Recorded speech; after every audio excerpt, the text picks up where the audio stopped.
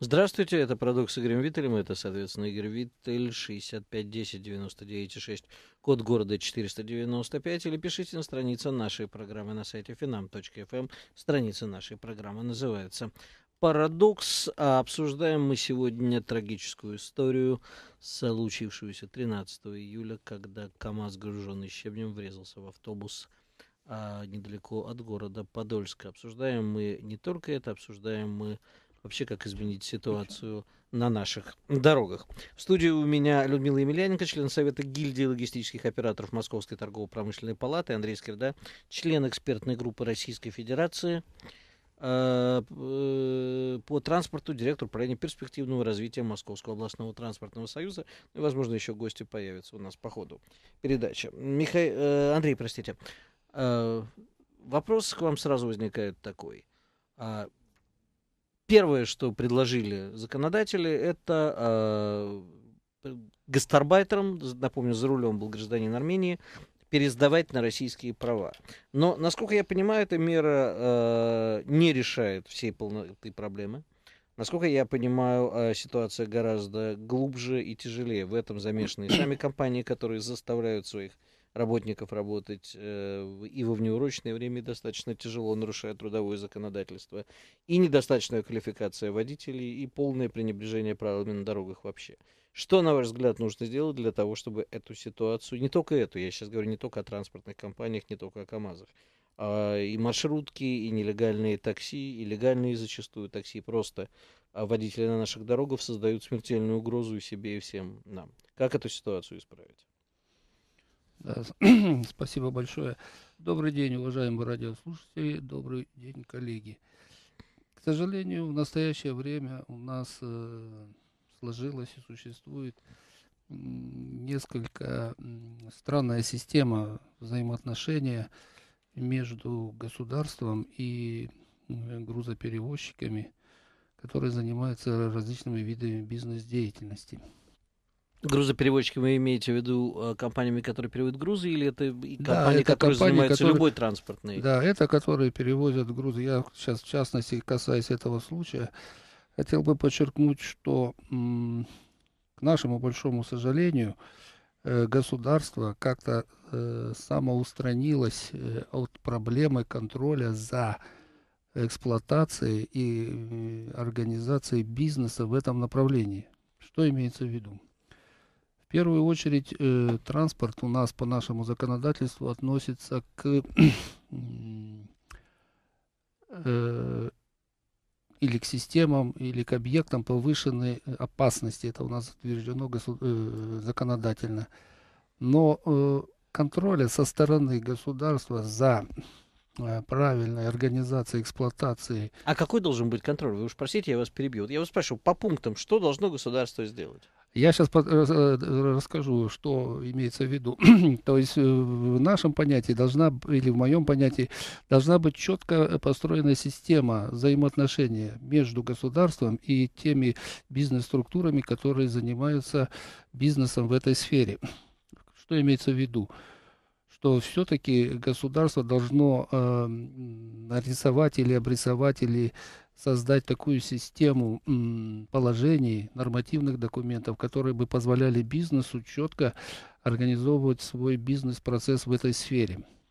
В каком плане? То есть должна быть э, регистрация автомобиля, должна быть э, выдача лицензии на осуществление э, деятельности определенным видом трассы, должен быть налажен жесткий контроль за соблюдением этих требований со стороны государства. Вот только я уже немножко... Вы простите, Андрей, я вас перебью, но, э, наверное, даже вопрос склонили. У нас э, вот сейчас была история с... Э, вот на студии появился депутат Госдумы Михаил Сташинов, просто не забудьте наушники надеть, да, потому что придется вам и микрофоном воспользоваться, а не только послушать. А, была история с фурами, да, которым запретили въезд в Москву. А, мы прекрасно видим, как у нас посреди белого дня по Москве разъезжают фуры. Почему? 300 рублей штраф. Остальное время они просто блокируют подъезды к Москве. Как бы, а, тут же есть два момента, да? Заставить лицензировать, заставить соблюдать, контролировать, кто будет. Контролировать, кто будет. У нас по, по дороге, мы с вами ездим, да, вы видите, ездят то, что, извините, в народе называется джихад такси, которые несут смертельную опасность. Их кто-то убирает с дороги. Где милиционеры? Где наши полицейские доблестные? Где ГАИ ГИБДД? Ну, э, Ну, это вопрос Людмиле был сейчас. Давайте. Да, Да. э, доб- добрый день. Э, Я бы хотела сказать, Игорь, по поводу вот э, и грузоперевозчиков, и такси, и пассажирских перевозчиков. Сегодня э, существует лицензирование на пассажирском автомобильном транспорте. Никто его не отменял. На такси у нас долгое время не было государственного регулирования, не было никакого допуска. Появился 69-й федеральный закон, который определил требования к такси. Как такси, так и э, значит, к самим автомобилям, так и э, непосредственно к перевозчикам, которые осуществляют этот вид деятельности. Э, Сегодня у нас вакуум на рынке грузоперевозок. То есть никакого Подождите, закона нет. а маршрутки, совершенно. автобусы? А слово маршрутки, автобусы, вот это, ну, неправильная трактовка, наверное, Давайте- журналистов и так далее. То есть это автобусы малой вместимости. Хорошо, называйте это как угодно, мы понимаем вместе, о чем мы говорим. Проблема же э, то, что за рулем этих э, маршруток сидят люди, не умеющие водить машину, зачастую находящиеся в состоянии наркотического опьянения, видел своими глазами неоднократно, нарушающие правила перевозок, потому что они работают действительно, и госу- э, компании, и сами они заинтересованы в том, чтобы сделать больше ходок. Вы когда-нибудь видели, как водят водители маршруток? Давно в маршрутке ездили? Игорь, я практически очень часто езжу на маршрутках, Ну. и я вам хочу сказать, что требования сегодня к водителям, в том числе и на маршрутных автобусах, достаточно жесткие требования. Почему? Потому что все эти автобусы практически осуществляют регулярные пассажирские перевозки. Для того, чтобы выйти на этот рынок, э, значит, э, есть э, и законодательно да, закреплены эти требования. Их проверяют сегодня и муниципалитеты, потому что у них есть А муниципальный наказание контроль. какое? Может быть, требования к ним Вплоть есть? э, Может- наказания... А что написано в требованиях? Чтобы они э, были гражданами Российской Федерации? Чтобы они не сам- обязательно. Ну, Не, обязательно. граждане Российской Федерации могут б- работать иммигранты, если у них есть... а, Российские права. Конечно. Михаил, Российские права, к сожалению, сегодня такого требования нет, российские права. да? нету То, такого требования. говорите, да? Михаил, вот Госдума предложила права. Во-первых, ваш опыт э, на дорогах, действительно ли э, я рассказываю правду или я преувеличиваю картину, сгущаю краски, как нас зачастую. Вот тут Людмила журналистов обвинял, что мы ничего не понимаем. А я прослушал просто, как вы их сгущали. Ну, вы, Поэтому- э, хорошо. а, э, свой опыт на дорогах. Вам кажется, что маршрутки э, несут опасность? Ну, здесь даже говорить, Водители говорить наверное, да, про это бессмысленно. э, Вот. Бессмысленно, да. То есть и, депутаты и журналисты сгущают краски. Давайте так. Честно говоря, иногда у меня возникает даже вопрос, как вообще эту машину можно купить или продать. Вот Мгм. на них смотришь, когда вот типа дорогу покажешь, вот Мгм. из этой серии. Джихад такси, то, что Ну, это, да, да, да. Шахид такси еще Да, есть, да. да, да, варианты на эту тему. Ну, кошмарно, конечно, все это выглядит. Э, Понятно, что, наверное, существенную роль в этом э, деле составляющая коррупционная. э, И Ну вот Людмила А. говорит, существуют требования. Пока существует Ну, коррупция, у эти нас- требования у можно нас не кла- выполнять. Классик давно сказал, что строгость Суровость законов, законов да, компенсируется да, да, да. необязательностью исполнения. Совершенно верно. Поэтому здесь, что про это говорить, толочь воду в ступе, наверное, надо искать какие-то другие пути. Наверное, они должны лежать в в том числе а, в плоскости какого-то экономического регулирования, вводить ответственность владельцев этого всего хозяйства, либо... Какую? а, Сколько должна быть ответственность, чтобы раз- они не различные, ну, какие-то, какие-то, какие-то серьезные, какие-то серьезные штрафы. Я сейчас не готов вот так на вскидку, что Людмила знает. а, выдать Одну вам- секундочку, выдать Михаил, вам эту цифру. Вы говорите, что существует, э, прописано, э, что должно быть выполнено то-то, то-то и то-то. А наказание за нарушение этих правил каково? Какие штрафы? Если мы берем регулярные автобусные перевозки, вот вы говорите маршрутные такси, это да, автобус, я считаю, малой вместимости, который работает в регулярном сообщении. Там требования достаточно жесткие, вплоть до того, что могут э, это- с этого маршрута этого перевозчика убрать и поставить другого. Были такие случаи? Э, Да, конечно, и в Москве сейчас наводится порядок, э, и в Московской области тоже. Это связано именно с тем, что нарушают если водители, нарушают водители либо это был просто требования- обычный рейдерский захват? Нет, конечно, это э, по причине того, что нарушают и водители. Водитель это представитель транспортной компании, да, он работник транспортной компании. То есть к транспортной компании могут приниматься определенные меры. Но у нас сегодня наряду с регулярными перевозками осуществляются нерегулярными перевозками. То, что вы говорите, да, это очень э, большой рынок сегодня занимают нелегальные вообще перевозчики, которые ну, как бы ездят Это по такси регуляр- или это тоже автобусы? это, это под видом такси работают автобусы малой вместимости. Мгм. Они снимают два, например, сиденья, переходят в другую категорию такси, э, становятся на регулярный маршрут. Угу. Подъезжают к остановке, садят пассажиров и э, везут по регулярному маршруту этих пассажиров. Это вот такие, не, э, называются, ну, нелегальные перевозчики. Ну, как вы их пос... называете, маршрутные такси. Мы их называем джихад-такси. Да? Ну, После или, выпуска да. новостей мы как раз обсудим, что делать с тем, чтобы они не появлялись на маршруте. Ну что ж, возвращаемся в студию, где мы с депутатом Михаилом Старшиновым, Людмилой Емельяненко и Андреем Скирдой обсуждаем беспредел на дорогах. Кстати, те, кто хотят желают присоединиться к нашей беседе, напоминаю, 65 10 99 и 6, код города 495, или на странице нашей программы на сайте finam.fm. Эм. Пишите нам, звоните и рассказывайте свои рецепты борьбы с беспределом. Людмила, простите, я вас прервал. Итак, существует проблема, да, значит, существуют люди, которые нелегально выходят на эти маршруты. Они являются источником повышенной опасности, да? Расскажите, почему государство их не может убрать? Почему сами компании, легальные компании не могут объединиться, обратиться к знакомым бандитам на худой конец? Ну а к кому, если государство не, не работает? Приходится обращаться. Как мне тут один знакомый бандит сказал, это не наши методы. Я очень смеялся. Игорь Витрин, ну мы все-таки живем э, в государстве, в правовом поле, да, должны э, Если государство, работать. это вы, чего, чего вы они на Михаила привлекать, смотрите? Они привлекать... Депутаты Госдумы, может, и живут в своем собственном правовом поле. У них вообще там, по-моему, собственное энергетическое поле уже образовалось. То, то есть вы предлагаете сегодня перейти нам жить э, в бандитское, я... создавать нет, бандитское нет, государство, привлекать не... бандитов? Нет, я не предлагаю, но если государство не работает впрямую, давайте объединяться в гильдии, вы же объединены в гильдии. Идите в суд, снимайте их с маршрута, обращайтесь в мили... лоббир лоббируйте mm-hmm. через... Ну, не работает, если это. Почему эти люди должны убивать нас? А, значит, вот э, я и представляю еще и Союз перевозчиков Московской области. На самом деле, если работают нелегальные перевозчики, вот на примере Московской области хочу сказать, что у нас есть такая информация, эту мы информацию как Союз передаем э, в Ространснадзор, Обязательно, да, и информируем э, также Министерство транспорта Московской области. Сегодня такая работа в Московской области начала проводиться. Ну, То расскажи, есть очень расскажите мне, сколько было проводится. снято с маршрутов, сколько было запрещено. Мы а что, мы боремся с единичными проявлениями или мы систему меняем? Э, на самом деле меняем систему. Тогда этого что... недостаточно. Этого недостаточно. Значит, эти люди будут оказываться за рулем не нелегальных, как вы выразились изящно, автобусов малой вместимости или такси, а пересядут в легальные. Они от этого лучше водить водить не научится. Э, значит, нелегальные перевозчики – это одна тема, а профессионализм водителей – это совершенно другая тема. Если мы говорим о профессиональном уровне водителей, то сегодня уровень водителей такси и уровень водителей грузовых автомобилей очень низок. Вот я вам пример приведу. Ежегодно у нас проводятся конкурсы профмастерства водителей. Ежегодно, везде, во всех субъектах. И вот на примере Московской области, значит, ну, один из этапов конкурса – это, э, значит, э, знания правил дорожного движения. Э, по результатам этих знаний мы определили, что из 20 вопросов, которые ну, сегодня да, все водители, получая права, они э, значит, э, сдают правила дорожного движения. 14 правильных ответов. Это вот э, ответы водителей грузовиков. А если мы берем ответы водителей, например, автобусов, у них 2, из 20 20 правильно. Почему? Потому что там есть система, есть контроль, есть предприятие. То есть не хватает системы и контроля. С нами Система... на связи по телефону да. координатор общества синих ведерок Петр Шкуматов. Петр, ваш рецепт борьбы с беспределом на дорогах. Мы обсуждаем аварию в Подольске. А, слушайте, ну, на самом деле, э, к сожалению, это все такое, знаете, перемалывание воды в ступе, контроль, э, лицензии, там, ПДД.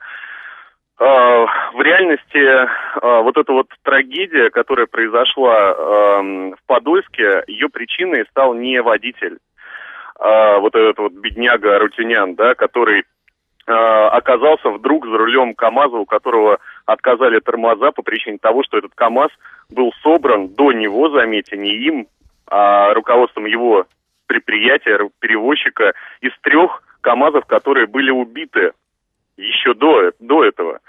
И э, э, у нас, знаете, у нас так в стране есть такая очень большая системная проблема. Она называется поиск крайних и имитация деятельности. Так вот, э, сейчас нашли крайнего Арутиняна.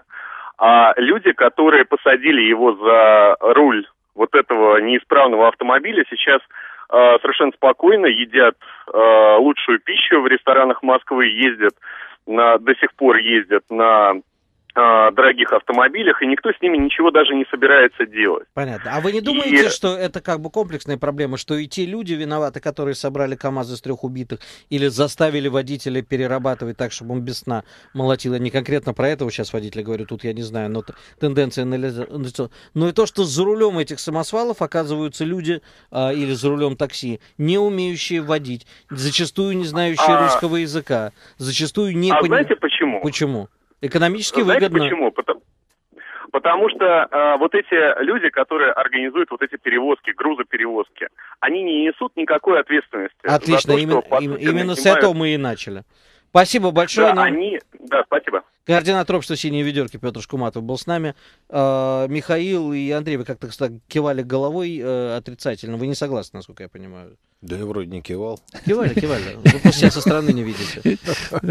Да на самом деле добавить здесь э, не к чему. Я вот считаю, что здесь как раз сказанное Шкуматовым, оно достаточно близко к истине. Конечно, необходимо, чтобы эту ответственность э, несли работодатели, э, несли материальную, уголовную, в зависимости от тяжести содеянного. Сколько? Почему у нас нету примеров, когда посадили руководителей транспортной компании, такси-компании? Или просто, вот объясните, по едет это ржавое ведро с гайками. Мы с вами понимаем, что оно так же, как тут из трех КАМАЗов собрано, а это просто уже разваливается на ходу. Я не знаю, кто эти машины продает, покупает, как вы говорите. Ну, мы сейчас и будем это... про, про что говорить? Про, Они, про а, взятки, что ли, опять? А, а кто? А, объясните, слушайте, вы депутат ну, Государственной не, Думы. Ну, не работает. Почему вот вы не хотите? Так сделайте, вы законодатель, сделайте так, чтобы работало. А, несколько дней назад на Сахалине прям сказал своим министрам, что, говорит, товарищ, ну 80% поручений не выполнено. Это вчера Поэтому, было, Поэтому, да. ну, это, к сожалению, общая тенденция, что вот такая, такое отношение к выполнению своих прямых обязанностей у подавляющего большинства чиновников. И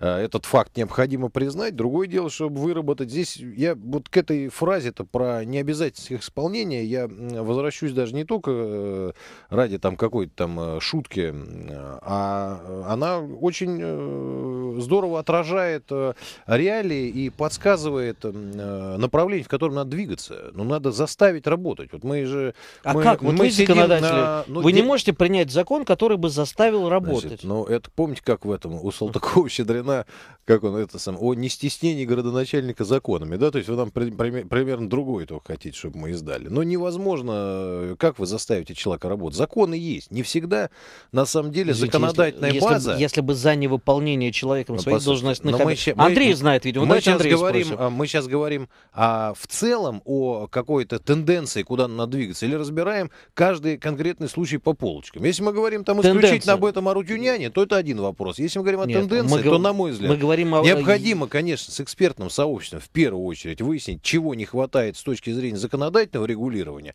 Во вторую очередь понять, э, почему те механизмы контроля, которые существуют сейчас, не работают. Не работают. Отлично. Экспертное Дальше будет понятно, Высказ... да, вот, двигаться, Пользуясь присутствием да. депутата Госдумы, выскажите им, чего не хватает законодательной базы. Уважаемый Я вижу, что много звонков, да. мы сейчас ответим, не вешайте да. трубки. Да. да, пожалуйста. Я хочу дополнить вот э, выступление Михаила, э, сказать, что в настоящее время э, и Министерством транспорта, и Государственной Думы, профильным комитетом по транспорту проводится я бы сказал, максимальном темпе работа по принятию и разработке вернее, разработке и принятию нового законодательства по организации грузоперевозок в Российской Федерации. Такой проект закона отработал Виталий Борисович Ефимов. Он находится сейчас на рассмотрении некоторых профильных э, структурах, которые, так сказать, определяет политику транспорта в нашем государстве. Э, закон, бывший, кстати, бывший, кстати говоря, министр транспорта. Да, угу. закон очень хороший, он учитывает опыт э, мирового транспортного, так сказать, сообщества, евро, европейского в том числе, и он именно способен коренным образом сломать существующую практику или ту систему, которую вот сейчас мы имеем, что этот новый закон уже не допустит появления на рынке вот таких случаев, которые вот мы имели в субботу. Сейчас Однозначно. мы подробно разберем, а, что нового в этом законе. Послушаем радиослушателей. Юрий, Алло, слушаю здравствуйте. Здравствуйте. А, вы знаете, сегодня утром в новостях э, передали, а, что в Италии начался судебный процесс над капитаном Косконкордии. Да, я как и, раз на днях интересовался его судьбой.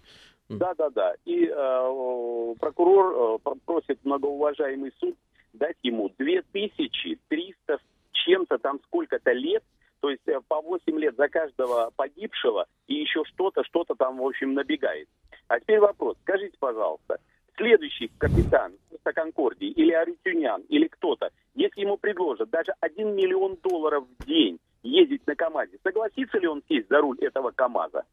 Не согласится никогда. Если он будет знать, что ему грозит 2000 там, или тысячу лет, или я не знаю, сколько там лет тюрьмы, пока не будет персональной ответственности каждого водителя, который, садясь в свой КАМАЗ, скажет, ну и он нафиг, лучше я проверю тормозные колодки, чем мне сидеть 58 лет за двух... А у нас что? Вот вчера передавали. А, ему грозит до 7 лет, из них реально ему дадут 5 Юрий, ну тут я с вами согласен, но еще и руководство компании должно нести точно такую же ответственность, если не большую. Ирина, слушаю вас. А, добрый день. Я хотела бы вопрос задать по поводу того, вот существующее трудовое право какое-то регулирует механизм отслеживания, сколько люди прорабатывают в день, в месяц, часов. Потому что на самом деле, вот взять даже Мострансавто, это не частная компания, как бы, да, она полугосударственная. А, переработка людей ужасная, особенно Дмитровский район. То есть не факт, что люди просто по причине того, что они уставшие, также перевозя людей, не только грузы, да, какие-то, а, могут создать аварийные ситуации. Согласен. есть, этот вопрос я задал. Людмила. Ответите на этот вопрос? Да, сегодня существует э, приказ министра транспорта Российской Федерации. В соответствии с этим приказом определен фонд рабочего времени водителя. И если есть какая-то переработка водителей, да, то она должна наказываться со стороны Ространснадзором. Сегодня у нас контролирующий орган за, транспортным, за исполнением транспортного законодательства – это Ространснадзор. Роспотребнадзор. Поэтому, если такая есть переработка, я думаю, э, сейчас э, чиновники из Ространснадзора слушают нашу передачу и, наверное, приедут в Дмитровский район для того, чтобы проверить эту компанию. Но это, опять-таки, эта компания понятная, она есть у нее адрес, Нет, вот... и можно ее проверить. А еще у нас началась а не есть... компания, а компания по проверке безопасности на московских дорогах. Как будто раньше до этого КАМАЗа на московских дорогах ничего не случалось. Ми- Михаил, а чего вы все время смеетесь? Почему так весело?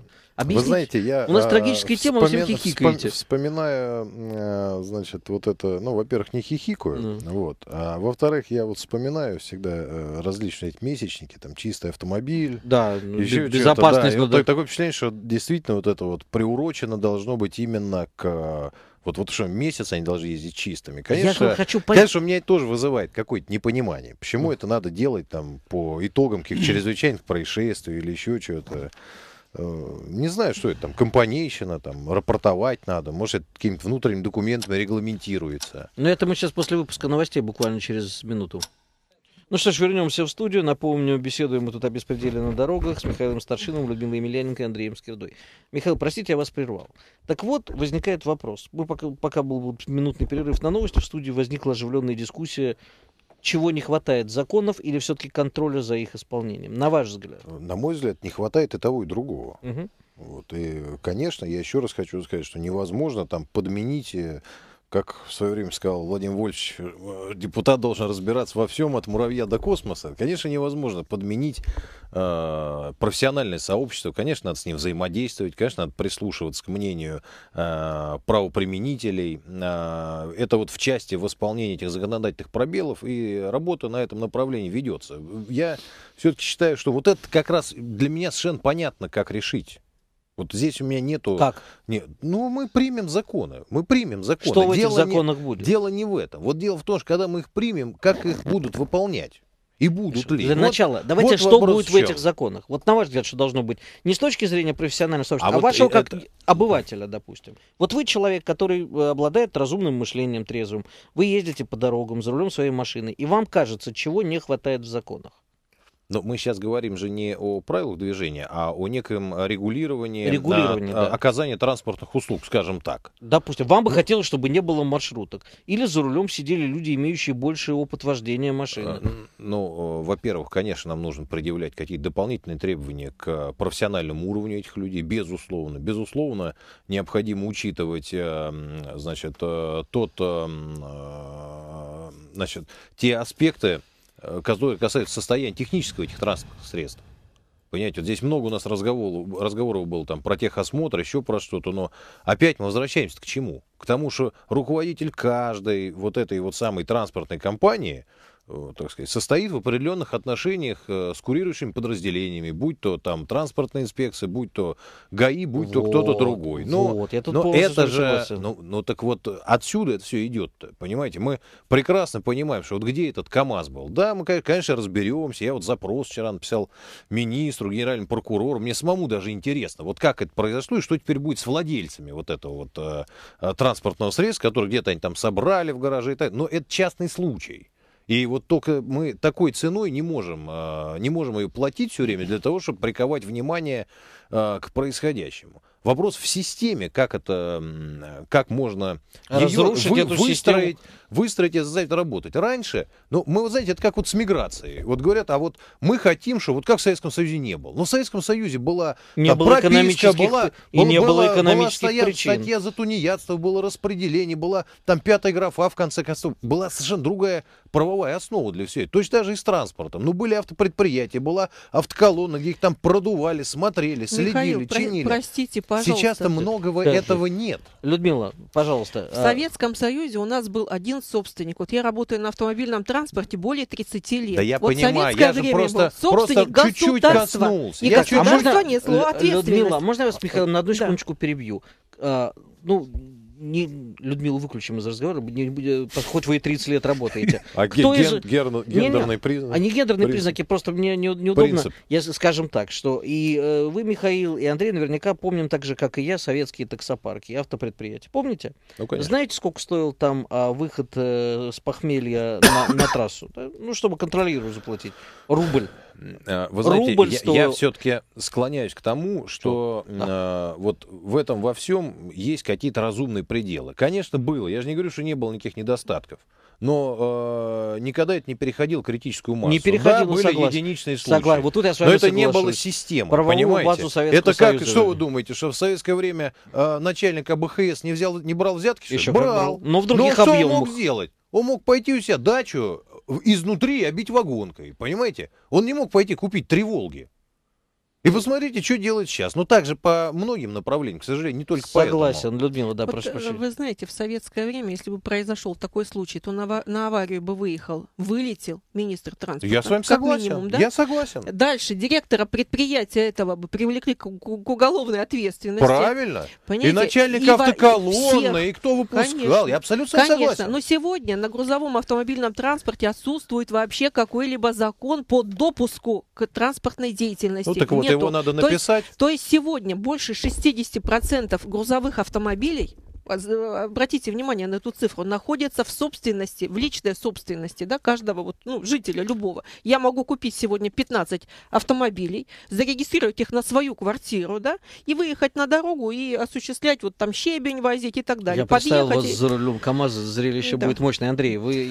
Да, я хотел дополнить Людмилу Николаевну о том, что по данным... Радиослушатели, вижу, что звонков много, мы их сейчас все Да, примем, по, не да- вешайте по- трубку. по данным нашей налоговой инспекции, органов государственной безопас- э, инспекции безопасности дорожного движения, 99 тысяч грузовиков Московской области находятся под юрисдикцией э, различных э, биз- Региональных. бизнес-структур, там общество ограниченной ответственности, индивидуальные предприниматели закрытые, и порядка 183 тысяч грузовиков находится в во владениях э, физических лиц. Это та масса грузовиков, которые не контролируются никем.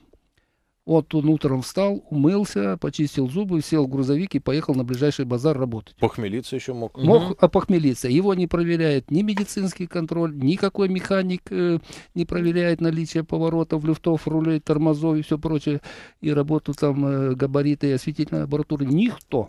Он находится вне правового поля государства. Он не платит налоги. Единственный налог за транспортное средство он платит. И все, больше ничего. Вот этот вот э, объем, и, кстати, этот КАМАЗ, он укладывается в эту же статистику, в эти 183 тысячи. Вот таких 183 тысячи грузовиков ездят по дорогам Московской области. Наша задача, в том числе и значит, э, рабочей группы, вот, которая состоит при Государственной Думе, разработать нормальный закон, который бы позволял навести порядок на наших дорогах. Да, у меня сейчас будет один вопрос, послушаем радиослушателей, буквально минуту. Сергей, прошу вас. Алло, Да, здравствуйте. Да, Сергей, прошу.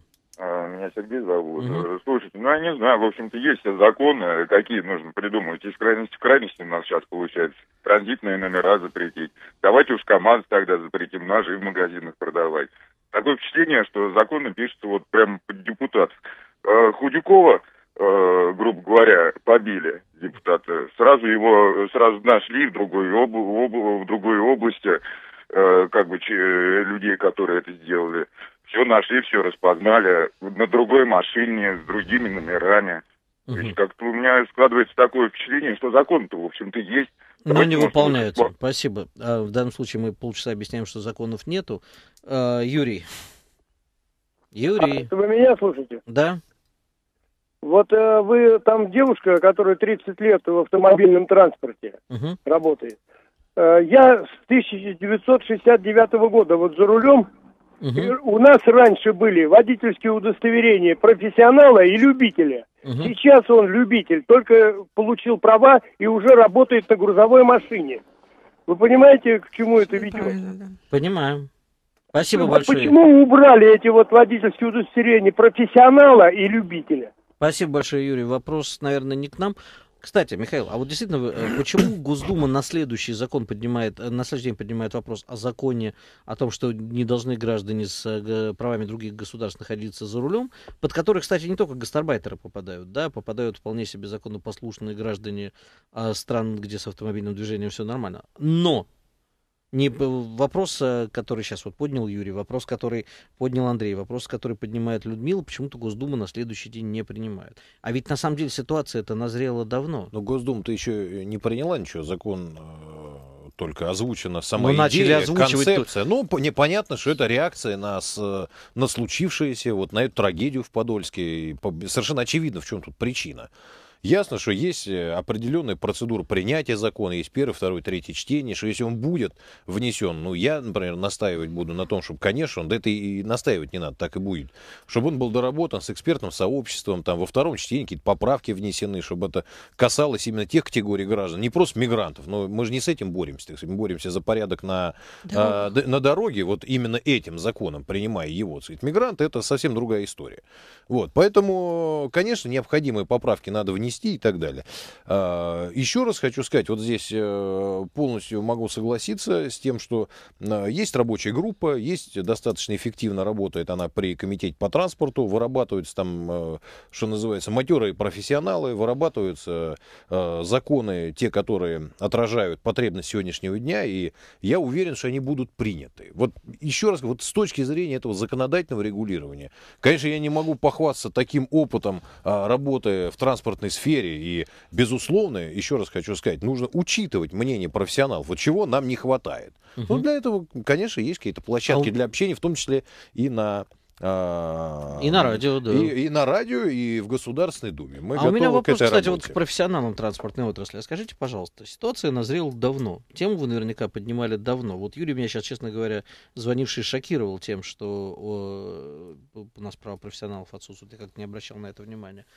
Огромное количество наболевших проблем. И попа- возникают вообще разговоры о них только тогда, когда вот Михаил правильно выразился, компанейщина начинается. А почему до сих пор а, какие-то законы наболевшие не приняты? Это невыгодно кому-то. То есть в Госдуме сидит, допустим, лобби, которое представляет интересы этих транспортных компаний, которым выгодно работать именно на такой экономической модели. Знаете, у меня всегда объяснение такое бывает, очень плохая дикотомия. Либо вредители, либо идиоты. Почему? Если есть понятное для экспертного сообщества набор проблем, они приходят к ним законодателям, говорят, ребята, вот это может взорваться, да? Давайте уже потом говорить об исполнении, хотя я и тут с Михаилом полностью согласен. Но вот это может взорваться, если эти законы не поменять. Что, первая такая авария? Нет, не первая. Может быть, с таким количеством жертв первая. До этого эти проблемы не болели. До этого мы не знали, что ржавые КАМАЗы разваливаются. Почему? Игорь, ну вот э, вы сказали там либо идиоты, либо непрофессионалы. Либо Я бы так, вредители. либо вредители. Я бы так не сказала, конечно. Потому что на самом деле Министерство транспорта Российской Федерации сегодня активно работает вот над э, изменением в законодательство, вносит поправки и так далее. Вы посмотрите за последние годы. Сегодня, еще раз говорю, сегодня сколько лет эта ситуация существовала и существует до сих пор? А сегодня они н- работают. Сегодня они действительно, может быть, работают. Может, они вчера начали работать. Тоже не буду спорить. Но ситуация не изменилась. И система не изменилась. Вы посмотрите, например, возьмем опять-таки вернемся к такси. Сколько времени у нас не было э, как бы вот за- закона, касающегося А организации А таксомоторных тут у меня перевозок? есть ответ. Наконец-то Потому приняли. что А ведь мафия, которая связана с такси, наверняка имеет лобби в Госдуме. И представители этого бизнеса наверняка там... Ну, вы знаете, дело, дело в Я том, бы так что сказала, надо, да. надо учитывать э, в нашем разговоре то, что субъектами законодательной инициативы являются не только депутат Ну, Государственной. Думы, им является и правительство Российской. Федерации. И, условно, конечно, не- не Госдума. конечно, Где-то они имеют лобби. Конечно, наверное, вот я думаю, что здесь мы обоснованно можем, э, конечно, желать от Министерства транспорта э, занятия более активной позиции вот в сфере обеспечения законодательного регулирования. Потому что, конечно, э, Министерство транспорта обладает несоизмеримо большим объемом информации, статистики, э, текущего, значит, информации о текущем положении дел, чем, ну, к примеру, депутаты Государственной Думы или члены Совета Федерации. Ну, я тут- Безусловно. Я тут просто должен э, добавить, наверное, менее приятно. Не, не только за рулем сидят непрофессионалы, а в чиновниках оказались непрофессионалы, Вы в том числе в знаете, Министерстве транспорта, верно. не понимающие в том, что такое транспорт. После выпуска новостей. F. Ну что ж, продолжим нашу беседу. Напомню, Михаил Старшинов, депутат Госдумы, у меня в студии Людмила Емельяненко, член Совета гильдии логистических операторов Московской торгово-промышленной палаты, Андрей Скирда, член экспертной группы Госдумы по транспорту. Беседуем мы о трагедии, которая случилась 13 июля под Подольском с автобусом. Так вот, Людмила, а, повторю то, что я сказал в начале, в конце, точнее, предыдущей части.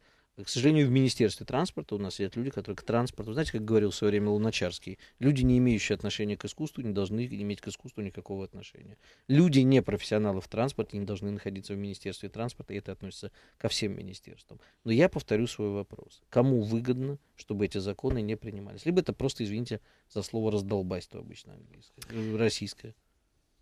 У нас э, государство перешло как бы в строительство, рыночную так- такую экономику стали строить в течение... э, ну, Рекордно несколько- коротких да, сроков, да. коротко- короткие сроки. Вот мы, мы берем, например, тоже Германию. У них закон о грузовом автомобильном транспорте был принят в 1952 году. И в этот закон поправок вносилось там один раз всего, за все время. У нас э, существовала система, да, и достаточно хорошая система. Потом в один прекрасный момент была отменена эта система, то есть лицензирование, это был своего рода допуск на, к осуществлению транспортной деятельности. А вместо всем нее видам. не построили новый. Ничего нового не подождите. построили. Но И возник- сегодня вот вы говорите про Министерство транспорта, я хочу встать на его защиту, да, почему? Потому что э, могут люди не иметь профессионального транспортного образования, но люди, которые могут писать законы и опираться на опыт профессионалов. И сегодня есть координационный совет в Минтрансе э, А Российской Федерации. нету. Почему? Готовятся эти законы. Готовятся. Вот Андрей как раз Подожди, и сказал о Вот том, что за- Андрей, пока вот сейчас, сейчас был перерыв есть, на новости, сказал очень правильную вещь. По городу бегает э, количество, огромное количество людей с заряженными автоматами. С этим можно сравнить ситуацию с транспортными перевозками. Как у, Станислава, у Чехова было, если ружье висит в первом акте на стене, в третьем оно стреляет. Да? Когда оно в третьем, извините, убивает 18 человек и несколько десятков раненых, ну, наверное, во-первых, кто-то за это должен понести ответственность. Во-вторых, этот закон уже наверняка, если он столько лет готов, но он тогда практически готов к первому чтению. Почему у нас абсолютно, вы уж простите за мое оценочное суждение, идиотская реформа РАН каким-то макаром от- оказывается подготовлена за два дня. А закон о транспорте почему-то нет. Тогда объясните мне, либо это невыгодно, либо это опять то слово, которое я сказал. Если невыгодно, то скажите кому. Сидит лобби в Министерстве транспорта, в Госдуме, еще где-то, и не дает принять те законы, которые позволят остановить беспредел на дорогу. Кто эти люди? Как сказал Михаил, люди имеют свои связи в вышестоящих инстанциях. До какой степени вышестоящих? Кто ответственный? Почему у нас президент, который, кстати, после его слова начинается работа, да? Правда, потом выясняется, что 80% не выполняется, но хотя бы какая-то работа начинается. 20 хотя бы выполняется. Не ударил кулаком по столу. А как ударил после Булгарии, мы тут выясняли, опять-таки продолжают на таких же аварийных судах перевозить пассажиров. И пассажиры, понимаете, самое страшное, что садятся и плывут. И точно так же садятся в эти маршрутки. Кто ответит, Людмила, Андрей? Ну, я, э, Михаил, конечно, учитывая вашу эмоциональность, вашего выступления. Я Игорь, если что. Э, Игорь, извините, да. бога- Михаил вот здесь, я пока еще Да. не депутат Да, Госдумы. богатым будете. А я молчал. Да. У нас кроме лысины ничего общего нет. Работа ведется, эта работа очень трудная, и все специалисты хотят сделать, поверьте мне на слово, э, как лучше этот закон. Вносится масса добавлений, масса изменений, учитывается иностранный опыт. Сколько лет? Вот сколько лет это происходит? Это, ну, где-то порядка, вот начали, я сейчас затрудняюсь ответить, но полгода это точно. Ну, полгода вот... Да, полгода он Хорошо, я- вышел уже на рабочий Андрей, я, режим. да. я- я понимаю, что вам по ряду, видимо, профессиональных каких-то причин неудобно сказать то, что вы не можете сказать в этой студии, я скажу за вас. То же самое, что с Игорь, я, такси. извините, я вас Да. перебью. Вот не- неоднократно Министерство транспорта Российской Федерации выходили с предложением о том, чтобы вернуть лицензирование. К сожалению, Минэкономразвития ни, ни один раз не поддержала Почему? вот эту инициативу. Потому что у нас э, либерализация перевозок грузовых, потому что у нас Рынок, рынок у У строит, нас Рынок, строит и либерализация так далее. вообще. Да, в целом. Она, да, в Ну, комплексе. да. Ну, в принципе, государство должно либерализация. создать правила, правила, ограничения какие-то, и чтобы бизнес знал, что вот в этих ограничениях надо работать, зарабатывать деньги, делать хорошее, платить налоги, чтобы люди жили достойно и все прочее. Но вот таких сейчас э, комплексов мероприятий, он разрабатывается. Это довольно серьезный комплекс. Я могу вам перечислить в общих чертах, если мне, так сказать, разрешат. Конечно. Э, это в первую очередь и лицензирование. Это в первую очередь вертикаль управления этим процессом от государства до некоммерческих партнерств, которые региональных. Это торгово-промышленные палаты будут привлекаться региональные, которые будут нести ответственность за ходатайство перед государством о том, чтобы конкретный грузоперевозчик получил лицензию, чтобы он был внесен в регламент, в, э, Реестр. в реестр перевозчиков, чтобы на любом посту, на любом на любой трассе сотрудники ГИБДД видели, что это легальный перевозчик. Он по базе посмотрел, да, он зарегистрирован, он прошел все обучения, он получил все лицензии, он груз у него застрахован. У него нет перевеса, он идет нормально на- по нашему законодательству. Вот. Но вы знаете, вот я хочу на секунду вернуться от э, такси. Действительно, закон был принят, да? Мгм. Стала легче ситуация? Да, там, вызывая по телефону такси, если есть как бы, такси, с которым давно работаешь, наверное, стало проще. Появилась а, автоматические службы вызова, э, приезжают нормальные машины, нормальные водители. В большинстве случаев, да, если ты работаешь с нормальными какими-то контрагентами. Но при этом таксистская мафия у вокзалов, аэропортов куда делась? Никуда не делась. А при этом парковочная мафия куда делась? Никуда не делась. Нелегальные такси из города куда делись? Никуда не делись. А главное, что государственного такси, или э, как бы не государственного, а то, что вот как бы было сделано в свое время в Нью-Йорке. Было выпущено определенное количество разрешений, медальонов так называемых. Блях, да, так Да, называемых. медальоны они называются, которые выросли в цене люди, которые покупали их когда-то, когда их выпустили. Их выпустили, я не помню, сейчас 25, по-моему, тысяч, и ни одного больше не выпускали. Вот эти люди имеют право работать, подбирать людей на улицах, работать от борта, остальные такси только По по, телефонным да. звонкам. Да, только по телефонным звонкам. Так вот, с телефонными звонками у нас как-то справились, но в этой части не работает. Почему? Ответ простой. Потому что это мафия. И точно так же, как в грузочных, грузовых перевозках, видимо, существуют люди, которые заинтересованы в том, чтобы эти законы не прошли. Я буду продолжать настаивать на своем. Если вы не можете этого сказать, я это скажу. Потому что я не, не вижу ничем. С такси я знаю, как обстоит дело, кто, когда, кому и как. Поэтому я абсолютно уверен, что и в грузоперевозках, и в пассажирских перевозках, связанных с автобусами малой вместимости, как вы изящно выразились, происходит та же самая ситуация. Игорь, я хотела бы вот обратить внимание, пользуясь случаем, да, все-таки представители Мгм. Государственной Думы неоднократно выходили, опять-таки, и транспортное сообщество, и Министерство транспорта с предложением в Думу о том, чтобы ужесточить требования к нелегальному извозу. Э, Вы можете обратить внимание на любую страну, да, может ли сегодня заниматься транспортной деятельностью кто-то нелегально, да, вот я имею грузовик, я не имею права выехать, потому что я должна зарегистрироваться как положено. Если я выйду, что сделают? Отнимут у меня этот грузовик. То есть средств- средства зарабатывания денег я просто потеряю. Что грузовик, что легковое такси и так далее. Сегодня, к сожалению, вот это пробел в законодательстве. Михаил, Так исправим. исправим Вот мы по взаимодействию внесем его на, на рассмотрение Государственной Думы в, осень- в осеннюю сессию. В осеннюю сессию будем вводить закон на нелегальность. Мы будем следить за этим внимательно. Еще пока у нас остается буквально несколько минут, кстати, напомню радиослушателям 65 10 99 6. Людмила, что необходимо сделать срочно? Вот просто по пунктам. Андрей перечислил, теперь ваша очередь. Я думаю, что Министерству транспорта Российской Федерации э, вместе с правительством Российской Федерации необходимо сейчас выйти с предложением и разработать программу э, грузового автомобильного транспорта. И в этой программе... И не только грузового, пассажирского все-таки тоже. Э, ну, пассажирского транспорта у нас есть лицензирование, у нас все-таки там более-менее, я вам хочу сказать, уже на, наведен порядок, да. А вот по грузовому транспорту у нас сегодня большой пробел. Это принятие закона необходимо в осеннюю сессию. Необходимо также принять принять и программу, которая бы э, предусматривала обновление грузового транспорта. Я вам хочу сказать, что сегодня э, более 60% грузового парка имеют срок эксплуатации свыше 10 лет. А с пассажирским? Э, с пассажирским у нас идет обновление парка. У нас есть конкурсная процедура допуска на рынок регулярных пассажирских автобусных перевозок. Поэтому угу. здесь есть требования и э, в том числе они и к автобусам. выполняются. Да, они выполняются более-менее, потому да, что заметно, по отслеживают, Москвы, да. отслеживают и, и муниципальные власти, ну, видите, да, вот и мэрия Москвы постоянно сегодня занимается этой проблематикой. Поэтому я думаю, что вот над, над этим нужно работать. И э, самое главное еще это профессионализм водителей. К сожалению, у нас сегодня это очень низкий уровень. Должна быть создана государственная программа подготовки водителей, профессионалов. И правильно вот э, радиослушатель, э, когда звонил, сказал, что у нас раньше были профессиональные права, нужно возвращаться к этой системе. То есть есть любительские права, а если человек хочет профессион... заниматься профессиональной деятельностью, у него должны быть профессиональные права. То есть либо категории, как раньше были, да, категория Б. И определенный, С, видимо, стаж. Конечно, определ... ну, а там без стажа иначе Нет, просто я имею в виду, что без определенного стажа не выпускать сначала на более сложную да, и, и большая система контроля. Конечно.